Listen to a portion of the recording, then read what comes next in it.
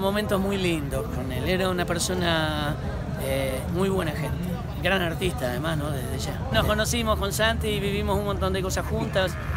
Eh, llegó un día a mi casa y resulta ser que, eh, que no tenía guitarra, pero no tenía guitarra por una situación muy particular.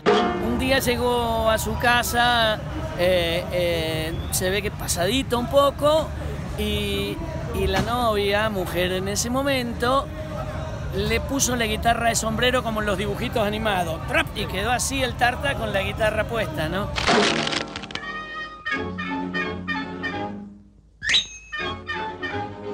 Entonces decían, bueno, pero tú sabes que me quedo sin guitarra. Entonces le regalé una guitarra que después nuevamente se le volvió a romper, no porque se le hayan partido en la cabeza, sino porque se cayó arriba de la guitarra de un colectivo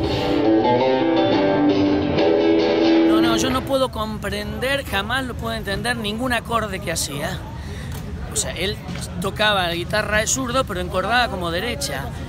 Tenía una habilidad maravillosa para rascar, para tocar rascando la mano derecha y que no se notara que la guitarra estaba encordada al revés, ¿no?